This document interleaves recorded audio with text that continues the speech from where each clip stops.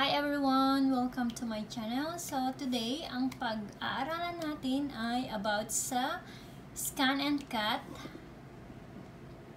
digital cutter kung paano mo siya i-connect sa inyong computer or laptop.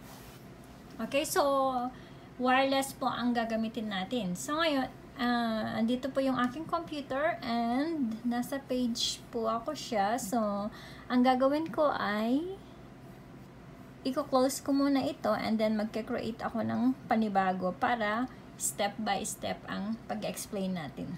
Okay, close ko siya.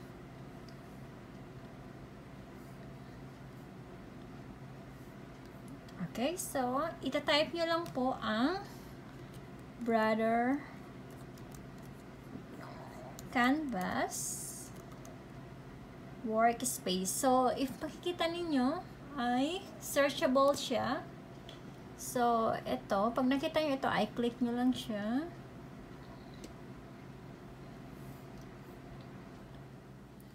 Okay, so, if na-search na, if na-search na ninyo, And then, punta kayo dito sa Canvas Workspace Brother. Click nyo lang siya. And then, dahil na, dahil na-install ko na siya, so, i-close ko yan. Pero, if ever na hindi nyo pa na-install, so, i-magla-logout ako.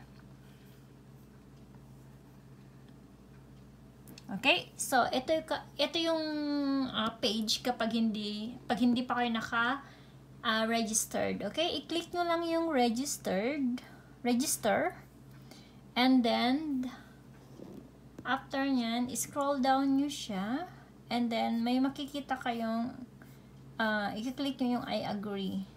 Okay? Yung terms and condition. And then, agree nyo lang yan, and then, register.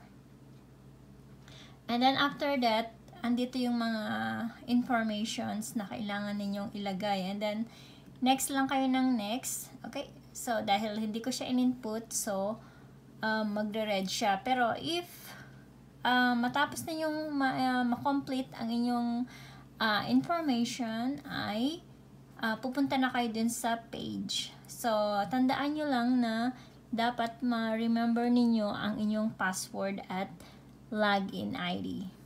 Okay, so, pabalik na ako sa page. So, just in case nakagawa na kayo ng inyong account, so, mag-login kayo.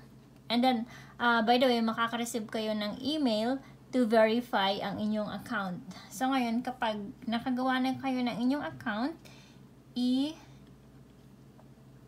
mag-login lang po kayo and then papasok kayo dun sa page na ito. Okay, so ito yung pinaka home nila, home ng Canvas. So, if gagawa ka ng um, new project, i-click mo lang siya.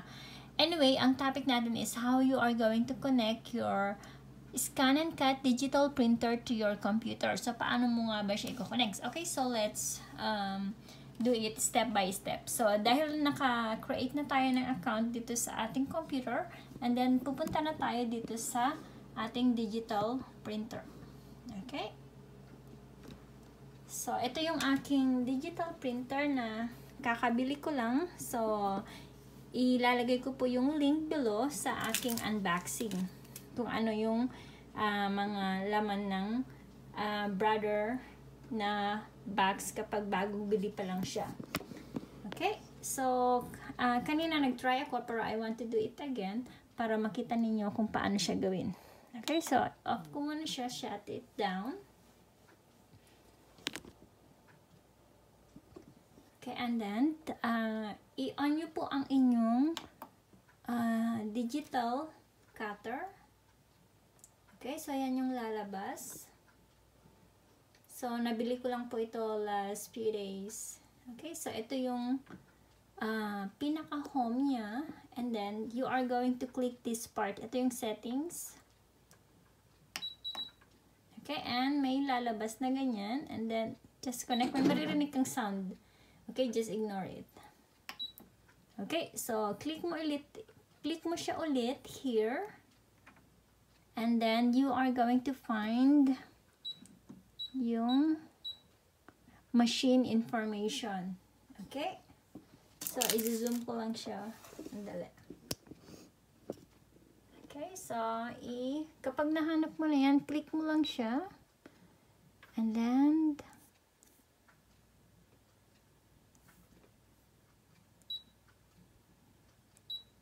oh, by the way, it's network pala. Okay, so click mo yung network. And then, wait mo lang. And then, click mo yung on. And then, after that, set up uh, wizard or, I think this one. Okay, set up wizard.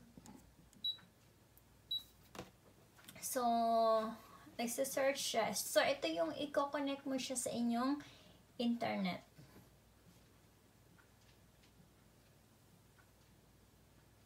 Okay, wait lang siya. Wait lang. Okay, so yan yung ating So yan na yung mga network.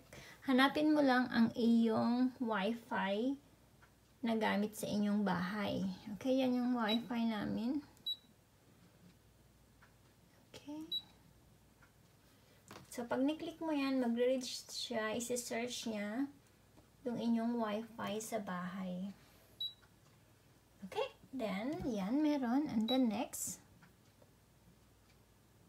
Okay. So, kapag nakita nyo yun, makikita ninyo yung yung ilalagay nyo yung password niya kasi nailagay ko na yung password niya pero if ever na makita yung password and then click nyo lang i-enter nyo lang yung password niya okay okay so yun, yan yung next after nyo ma-enter yung password nyo malalabas ito lalabas yung uh, words na yan meaning to say kailangan ninyong i-enter ito. So, remember before, nung nabili ninyo ang inyong, nung nabili ko yung aking digital printer or uh, digital cutter, ay meron ako nito.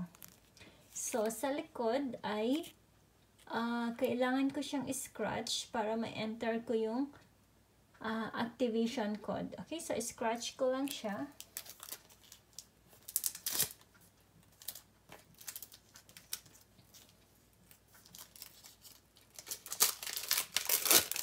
And dun sa unang video ko pala ay nailagay ko yung paano siya i-set up kapag ka bibili mo lang ng iyong digital cutter. So, you must be very careful kapag na-open mo siya and you need to uh, follow the instructions.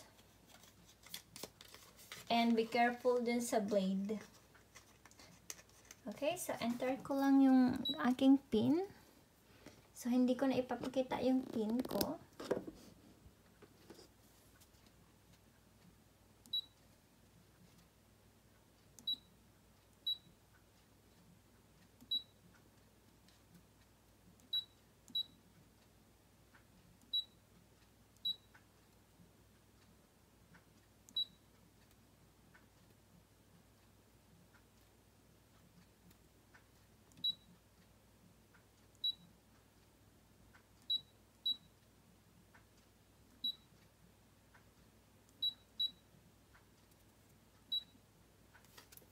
Okay, kapag na-enter mo na ang iyong activation um, code or PIN ay lalabas ito. Activation completed. Next. Okay, so yan. So, meaning to say, uh, okay na siya and then just click OK. Okay, so ilalagay ko na yung aking PIN. Ito yung instruction na lumalabas. So, log in to scan and cut canvas. So get pin code. And the number one click this icon. And then number two is click get pin code button. Type the following number in this web. Follow the procedure. Okay so I need to type that. Natin ng pin code. So punta ano yun, ito yung inyong, uh, ito yung aking account. So, same sa inyo, kapag nakagawa na kayo ng account niyo punta lang kayo dun sa inyong profile and then click that. Okay, I will zoom it. Okay, so click lang yan and then, and then punta kayo dito sa machine registration. Okay, and then remember, bago ang inyong uh, machine, so register new machine. Okay, so, ito sa akin. So, kailangan kong, remember, dun kanina, dun sa, um, dun sa digital cutter, may number dun sa bottom part na kailangan mo siyang i-enter. So, I'm going to enter that. So, doon ko siya i-enter sa pinakababa dito sa number na ito para magkaroon ako ng pin. Okay, I'm going to enter it.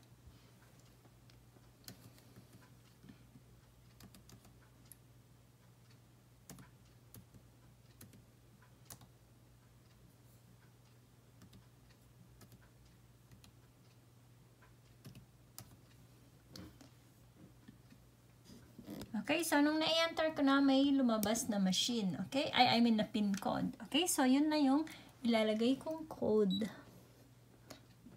Okay, so dahil, dahil nakagawa na ako ng code, okay, so kailangan nyo siyang i Kailangan ko na siyang enter.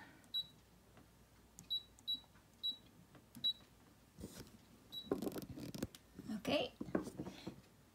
So, pinapakita ko lang siya kasi magkakaiba naman ang ating mga code. So, it's okay lang. Okay, so as you can see here, naka-registered na ang aking machine. Okay, so ready na yung aking data to transfer. And then, same here. So, as you can see in this part, so, naka-registered na din and I need to click OK. So, there you go.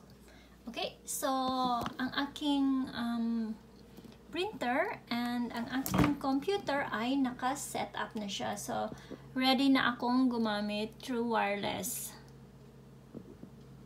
Okay, so, I hope guys you learned something sa uh, aking topic today and see you next time.